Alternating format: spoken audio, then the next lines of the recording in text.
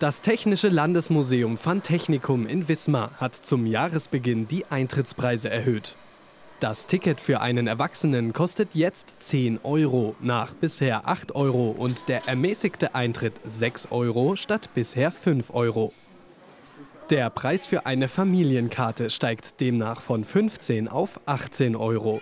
Insgesamt eine moderate Anpassung und die erste nach fünf Jahren.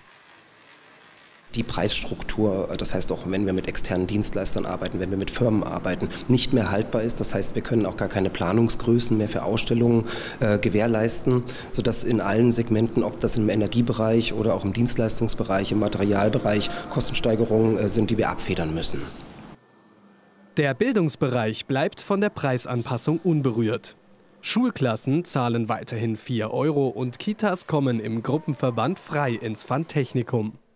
Eine weitere Neuigkeit, ab dem 25. Januar wird die Dauerausstellung erweitert.